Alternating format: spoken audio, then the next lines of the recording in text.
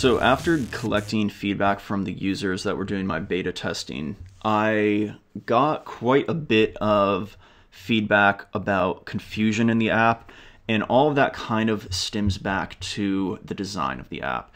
So for instance, there was a lot of confusion around how to actually save or add savings to your trip. So the way that the card was set up for that, it was kind of confusing to people. It was also not that straightforward of what it meant to have multiple trips.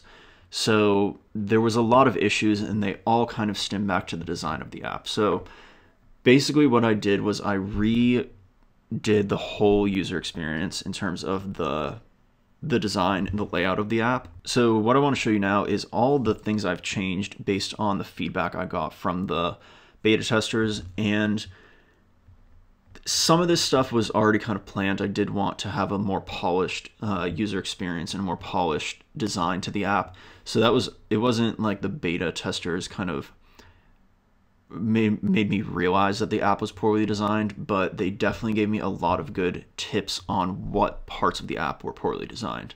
So for instance, this page here is pretty straightforward. I mean, you don't really, you know what you need to do here. There's nothing that actually changed. I did change the fonts of the whole app to just be this one cleaner font. And then the color is now this darker color, blue, this bluish uh, purple color. So that got changed, but you can see if you hit get started, these are basically the same as well. And the language here is also the same. Um, I'm just going to not create an account for either of these because it will be a bit quicker.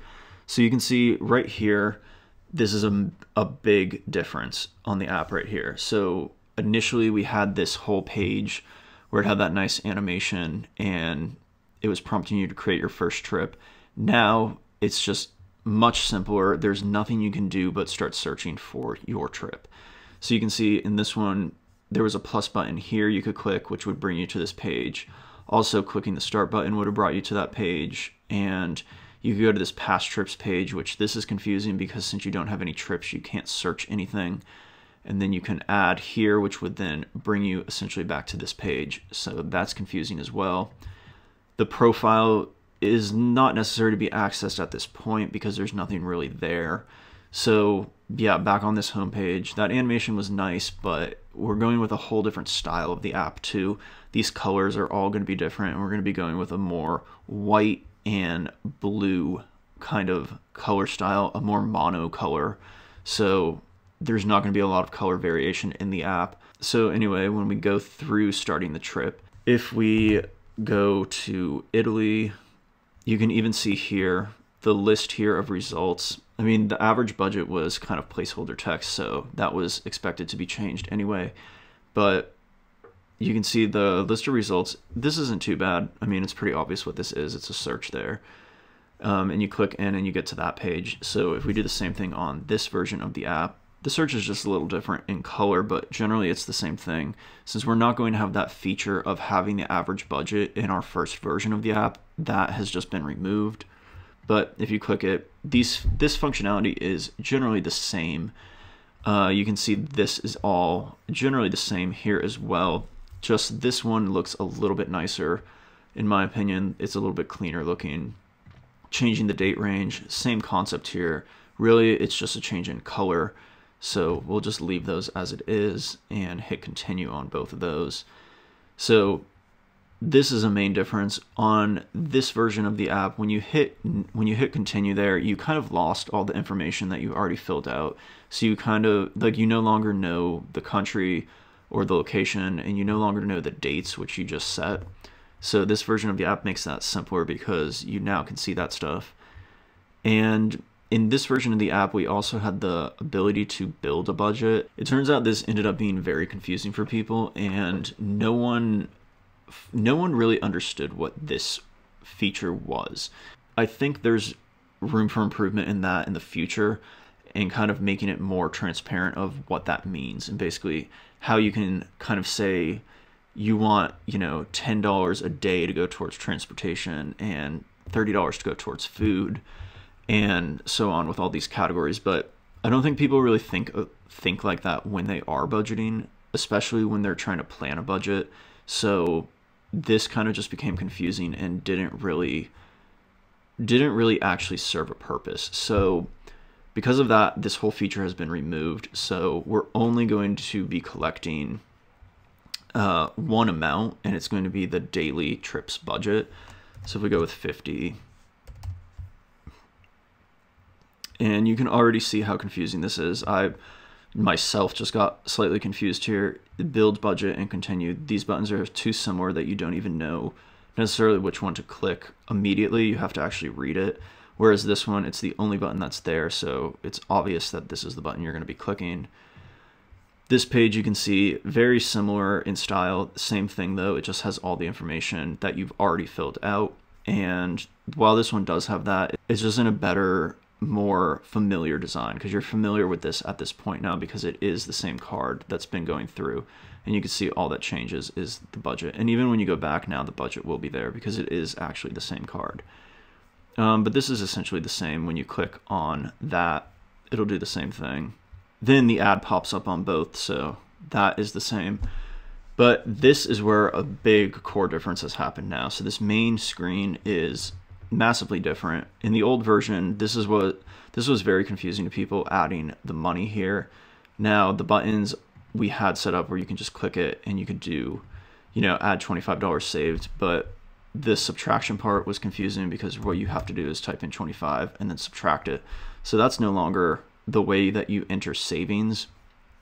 Uh, the way you enter savings now is to click this save button and you can see that this simple calculator comes up. So if you want to put in $25, now you have the option to either say that you saved that much or you spent that much. And if you try and say that you spent it, nothing will happen because you didn't actually save anything yet. But now you can say you have it saved and and you can see it has it right up here immediately you know how much you've saved whereas with this one it's it is there, you know, but there's two numbers here, which gets a little bit confusing potentially. Um, so also the color scheme of this, which was always planned to be changed, is different. And you can see it's just nicer to have the image there and all this information. It's just a much cleaner design. So another major difference is in this old version, we had everything kind of stored on this trip's detail page. So with this new version, Another major change is you're only going to be able to have one trip per account. So this is something that I decided to do just for version 1. A user can just have one trip and I'm thinking for a version 2 that will deploy quickly after the version 1 is will allow potentially a paid version where you can have more than one trip. So I'm thinking we can add an in-app purchase that maybe is a certain flat rate or maybe a subscription and then you can have as many trips as you want. But that I think is going to be the way that this app can still be free, and then we can potentially make more money on it for people that want to use it to the next level. You can see a lot of the stuff that we had on this trip detail page has been moved to this home page. So a lot of the logic is the same. So, you know, the days till your trip is now this card, and then current daily budget. I don't even know that we that we had that, but this number now is based on what you've saved divided by the amount of days your trip is. So right now with $25 for this distance of a trip, for this length of a trip, I would have a $3 a day budget.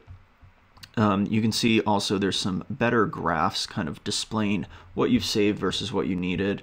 Whereas in this version, we kind of just had the number here. So this is more visual as well as with the numbers there and then the transport type is is just there. I mean that I don't even think is on this page, but that is there as well as this nicer percent saved view of you can see you know you have 7% saved. I definitely think it displays the data a little bit more friendly and, and in a way that is easier to see at a glance what you have. Uh, notes is essentially the same. It still just pops up and you can type things in. So that's not much different, just color changes, but generally that's the same. So that's basically the homepage there, and that really is going to be the the MVP, the version one of this app. It's just going to be a very simple.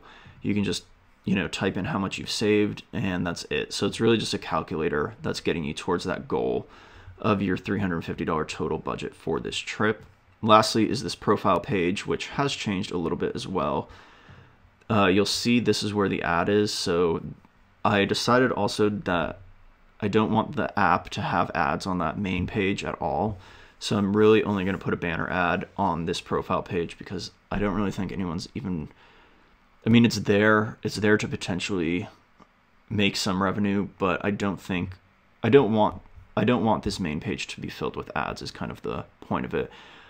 Maybe I'll put one down at the bottom here. I've kind of thought about that, but but I think it does take away from the experience, especially since the app has so little features right now that it kind of to me seems seems like a money grab to put ads on this simple of an app. But that's up to you if you want to if you want to put ads and where you want to put them. But uh, you can see the profile is not too much different.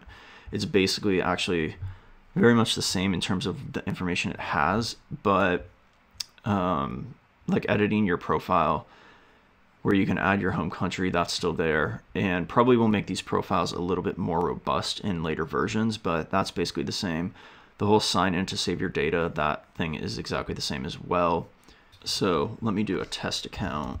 And actually, it's looking like this is not refreshing as it should, so that's something I will have to update still, but I think probably if you go back to it, now it's refreshed there. You can see you can delete the trip here. This is kind of the workaround from having multiple trips. You can just delete this trip if you want and then create another trip. But the account, the account as a whole can only hold one trip at a time right now that is the major differences of this app now. As you can see, it looks nothing like it used to. I will say I do want the app to be more robust, obviously, and have more features, but I felt like I was getting to a point where I was spending more time more time trying to add these features and doing it poorly than I was getting the app to a point where I can deploy it. So uh, so about a month ago, I kind of made the decision that I just want to get this app deployed I needed to get it to that minimum viable product so that I could deploy something. And then once that's deployed, I can now start adding features more slowly. But for instance, if I make if I make this app live, and then for instance, we add a feature for a new tile here, we can add that feature and then deploy that version. So that could be a version, you know, 1.1. And then those larger features that we've talked about, or that I've talked about that I want to add into this app, where it's more, it gives you more data on the trip, it gives you more predictions on what you should be saving. There's a lot of features, obviously, that can be added to this app to make it better.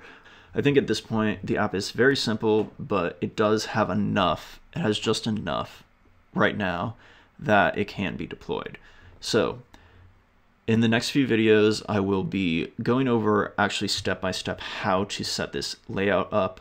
I will be basing it off of what we already have set up, but it will be essentially building the layout from scratch. So if you're interested in seeing those, go ahead and subscribe down below. All right, ciao for now.